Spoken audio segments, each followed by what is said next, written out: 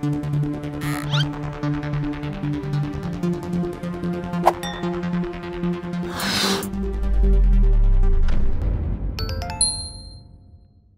ဂလာပါရှင် CNN ရဲ့သတင်းမှားမှန်စီစဉ်ကနေပြန်လည်ကြိုဆိုလိုက်ပါတယ်ဒီတစ်ပတ်တာအတွင်းမှာဘလို့သတင်းမှားတွေပြန်နိုင်ခဲ့တယ်လဲဘာကြောင့်အမားလို့ယူဆရတယ်လဲဆိုတာကိုအချက်လက်အတိအကျနဲ့တင်ဆက်ပေးနေတဲ့အစီအစဉ်ပဲဖြစ်ပါတယ်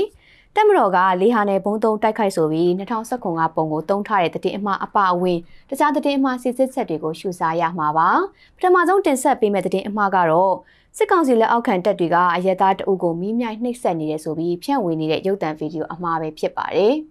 ဒီအကြောင်းကိုတော့စစ်ကောင်စီလက်အောက်ခံတပ်တွေကပြည်သူအပေါ်ကိုဒီလိုနှိမ့်ပန်းပါတယ်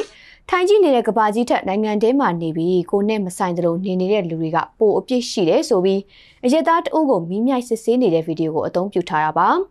အဲ့ဒီဗီဒီယိုဖိုင်ထဲမှာရှမ်းဘာသာစကားနဲ့ပြောဆိုမှုတွေရေးသားထားမှုတွေပါဝင်ပြီး SSPB ဆိုတဲ့စာသားလေးပါတာကိုတွေ့ရပါတယ်တကယ်တော့ဒီဗီဒီယိုဟာပြီးခဲ့တဲ့ရက်ပိုင်းကမှပြန့်နှံ့လာတာဖြစ်ပြီး စစ်ကောင်စီလက်အောက်ခံတပ်တွေမဟုတ်ဘဲနဲ့ရှမ်းပြည်တိုးတက်ရေးပါတီရှမ်းပြည်တပ်မတော် SSPP SSA ကတပ်ဖွဲ့ဝင်တွေပဲဖြစ်ပါတယ်။ဒီအကြောင်းနဲ့ပတ်သက်ပြီးရှမ်းပြည်တိုးတက်ရေးပါတီရှမ်းပြည်တပ်မတော် SSPP SSA ကတာဝန်ရှိသူကအတည်ပြုထားတဲ့အကြောင်းကိုပြည်တွင်းကသတင်းဌာနတွေမှာလည်းသတင်းရေးသားဖော်ပြထားကြတာပါ။မြန်မာနောက်သတင်းဌာနရဲ့ဖော်ပြချက်အရတော့စစ်ဆေးခံရတဲ့အဲ့ဒီအမျိုးသားဟာရှမ်းပြည်တိုးတက်ရေးပါတီရှမ်းပြည်တပ်မတော် SSPP SSA ရဲ့တည်င်းပေးဖြစ်ကြောင်းမိဘုံပေါ်မှာနှိမ့်ဆက်ခံရပေမဲ့လည်းဒဏ်ရာမရရှိကြောင်းသူ့ကိုဆက်လက်ထိန်းသိမ်းထားကြောင်းသိရပါတယ်။ပြီးတော့အဲ့ဒီမီရှိုနှိမ့်ဆက်စစ်ဆေးတဲ့ကိစ္စအတွက်အဲ့ဒီတပ်ဖွဲ့ဝင်တွေကိုစစ်ဆေးအရေးယူမှာဖြစ်ကြောင်း SSPP SSA အဖွဲ့ရဲ့ပြောရေးဆိုခွင့်ရှိသူဗိုလ်မှူးစိုင်းဖုံးဟန်ကပြောဆိုတဲ့အကြောင်းကိုလည်းရေးသားဖော်ပြထားတာပါ။ဒါအပြင်အားဖေသတင်းဌာနမှာတော့ SSPP ပြောခွင့်ရဗိုလ်မှူးစိုင်းဖုံးဟန်ကမိုင်းကင်တဲ့လဲချဘက်မှာ SSPP စစ်ကြောင်းတွေကို RCSS ကမကြာခဏမိုင်းထောင်တာတွေချောင်းမြောင်းပစ်ခတ်တာတွေကြောင့်တန်တရားရှိသူတွေကိုစစ်ဆေးနေတာဖြစ်တယ်လို့ပြောဆိုထားတာပါဒီချက်လက်တွေကြောင့်ပဲစစ်ကောင်စီလက်အောက်ခံတပ်တွေကအရက်သားတအုပ်ကိုမိမြိုင်နှိပ်စက်နေတယ်ဆိုပြီးဖြန့်ဝေနေတဲ့ရုပ်သံဗီဒီယိုဟာရှမ်းပြည်တိုးတက်ရေးပါတီရှမ်းပြည်တပ်မတော် SSPP SSA တပ်ဖွဲ့ဝင်တွေစစ်ဆေးမင်းမြတ်တဲ့ရုပ်သံဗီဒီယိုပဲဖြစ်ပါတယ်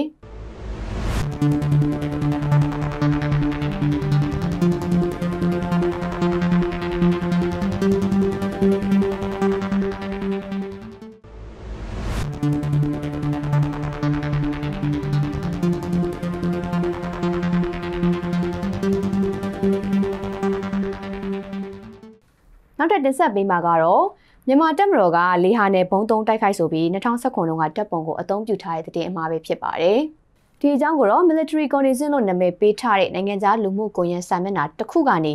မြန်မာစစ်တပ်ဟာအရက်သားတွေအပေါ်လေကြောင်းတိုက်ခိုက်မှုမှာလေဟာနယ်ဘုံကိုအသုံးပြုခဲ့ပြီးကျေးရွာတွေမှာလူဒါဇင်ပေါင်းများစွာတိတ်ဆုံးခဲ့တဲ့အကြောင်းကိုရှင်းသားထားတာပါ။အဲ့ဒီရေးသားချက်နဲ့အတူမီးလုံးတွေမိခိုးတွေအလိမ့်လိုက်ထွက်ပေါ်နေတဲ့တပ်ပုံကိုပါအသုံးပြုထားတာဖြစ်ပါတယ်။အဲ့ဒီတပ်ပုံကို CNN ရဲ့သတင်းအမှားမှန်စီစဉ်ကနေ Google Image Search နဲ့ရှာဖွေစစ်ဆေးကြည့်လိုက်တဲ့အခါမှာတော့နိုင်ငံခြား website အများအပြားကနေအကြောင်းအရာအမျိုးမျိုးမှာအသုံးပြုထားတာကိုတွေ့ရပြီးမူရင်းတပ်ပုံကိုလည်းတွေ့ရှိခဲ့ပါတယ်။ တကယ်တော့အဲ့ဒီတပ်ပုံဟာတပ်ပုံတွေကိုဖန်တီးပြုပြင်တဲ့ Pizza Base ဆိုတဲ့ website ကတပ်ပုံပဲဖြစ်ပါတယ်။အဲ့ဒီတပ်ပုံကိုတော့2018ခုနှစ်မေလ3ရက်နေ့မှာ Pizza Base website ကနေ publish လုပ်ထားတာပါ။ဒီချက်လက်တွေကိုကြည့်ချင်းအပြင်မြန်မာတပ်မတော်ကလေဟာနယ်ဘုံသုံးတိုက်ခိုက်ဆိုပြီးမီးလုံးတွေမိခိုးတွေအလိမ့်လိုက်ထွက်ပေါ်နေတဲ့တပ်ပုံဟာ2019ခုနှစ်က Pizza Bay website ကနေဖန်တီးထားတဲ့တပ်ပုံ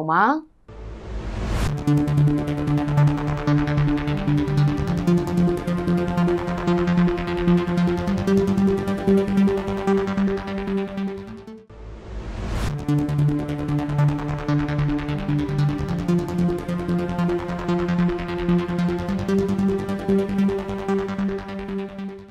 တစ်ပတ်ရဲ့သတင်းမှမှန်စီစဉ်ကတော့ဒီလောက်ပါပဲ။နောက်လာမယ့်အပတ်တွေမှာလည်းသတင်းမှားတွေကိုစစ်စစ်ပေးအောင်မှာဖြစ်လို့စောင့်မျှော်ကြည့်ရှုပေးကြပါအောင်ရှင်။